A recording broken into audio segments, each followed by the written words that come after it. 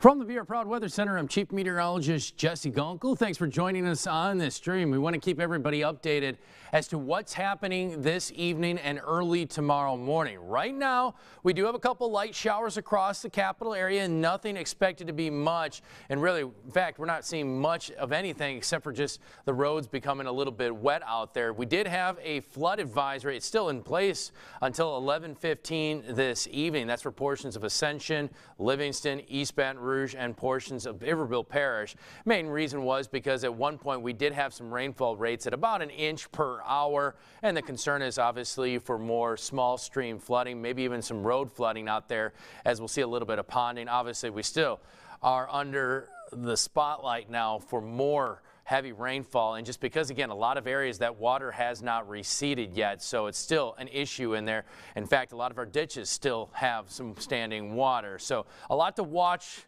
and monitor as we move into the overnight hours. You can see that we've got a couple heavier pockets a few miles to the west, a little bit closer to Acadiana, right along the Atchafalaya River. That's all heading towards I-10. So if you're making the trip back or forth, you may run into a little bit of rainfall.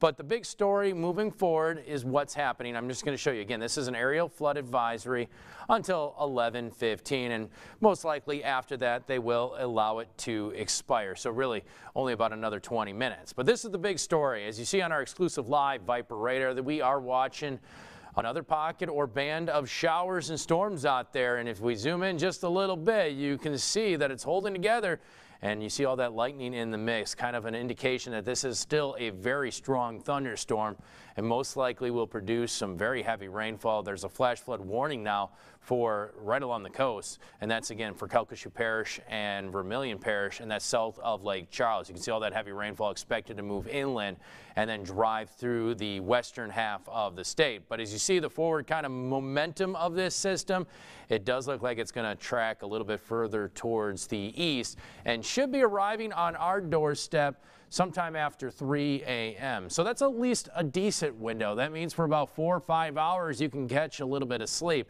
But what I do suggest is making sure your cell phone is charged. If you do fall asleep, have it on the nightstand next to you and make sure the volume is up so you can hear those alerts overnight just in case if that rain comes down and it comes at a pretty steady pace, well, we may see some more possible flooding here just because the water is already high in a lot of locations. All of our drainage basins and reservoirs, all of our ditches are still full of water at this point. The ground is still extremely saturated, so it's really not going to take much. When you start to get a little bit of rainfall coming down at a quick chop, well, guess what? All of that water has to go somewhere. So even if it falls in maybe in the street in front of you, or if it falls back into maybe a parking lot, that's all going to go into our local bayous and then quickly push downstream into one of our main arteries. So again, we're watching that very closely. As you see moving forward, that rain should be moving in. We still are underneath a flash flood watch. They've extended it for another day until tomorrow evening. It looks like we may actually have two more rounds of rain before we eventually dry up. And that's the concerning part out there. So because of that additional threat of rain and the possibility of more flash flooding, they have extended it. Potentially, they could even extend it into Friday morning at this point. Keeping an eye on the rivers. Right now, things are shaping up for the Comite River at Joor Road as water levels are actually dropping and should be back to below flood stage by tomorrow. Amite at Denham Springs right now at 27.87. Expected only climb to about 28.5, what keeps us in minor flooding. Amite at Bayou Manchac, and that seems to be the highest point or the highest point right now expect moderate flooding in the area. They've also right along Perkins Road, Old Perkins Road, excuse me, they've closed the bridge because of that current high water. Uh, the original forecast, we're looking for 13 feet or possibly above. So right now, that's actually looking a little bit better, the current estimates, but that again could change. All of this is subject to change depending on what we see this evening and early tomorrow with rainfall. Because again, you got to remember, the more that moves into our local bayous and streams, well, that's eventually going to allow those river levels to climb. Uh, across our viewing area. So here's the current future track out there, and you can see that line of thunderstorms moving through Acadiana, reaching there about 3 o'clock in the morning. And then by the time we get to early morning, you see those storms pretty intense, still around 6 a.m. Kind of moving somewhat slowly out there, and you can see the showers quickly jump. I still think, again, this whole model run hasn't been updated quite yet. We're still waiting for it to generate the latest model run, but I do believe for us, we're looking at a window between 3 and 6 for some heavy rainfall across the area. And then I do believe the other concern is once we get past that point, as the system starts to lift north and up towards the east, you can see how these showers start to move back in from New Orleans and Belle Chasse back towards the Hammond area. We could start to see some of that rain move back westward, and that's where we could start to see some higher totals. And if it stays stationary, just like the other day, well, then those rain totals quickly climb. So again, a lot to watch out as we head into your day tomorrow because again, there is that possibility that it could stall out at times. So again, because of that threat, we sit under a moderate risk for excessive rainfall. As you notice, again, the, we'll see rain rates at a rather high rate, maybe about an inch or two per hour in localized pockets. We could even see higher amounts. And as you notice also, as we continue to move forward, You'll see here that, again, these are the current estimates, but they could jump two to four for most of the area.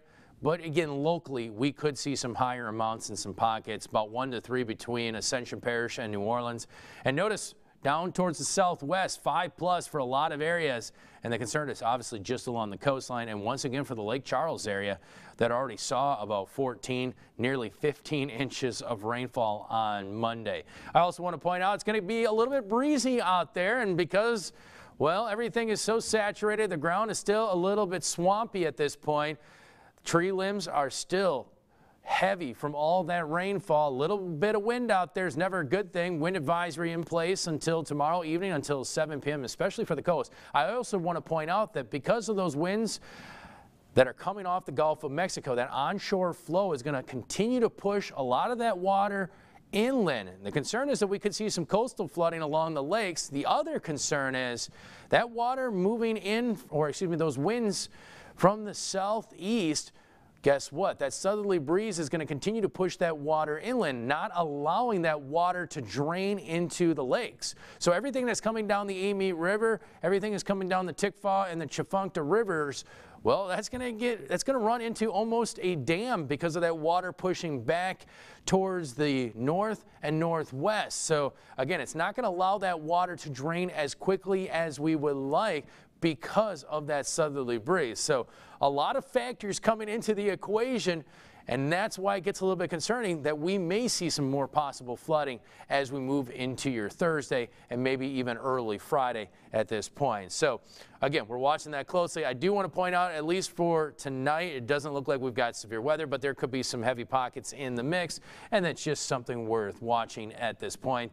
And again, the next couple days, obviously, we've got rain tomorrow, the possibility of more flooding, the chance for some heavy rainfall heading into the morning hours of Friday, and then finally some sunshine. We're dry Saturday, and it looks like we may see a nice long stretch. So we'll have plenty of time to dry out across the capital areas. So just stay alert this evening. Have multiple ways to receive warnings. Make sure the phone is on and it's charged. You can download our app. It's great. It's a useful tool if you need sandbag locations, if you need to know where there are road closures, if you need to know where there are school closures or government entities, anything like that.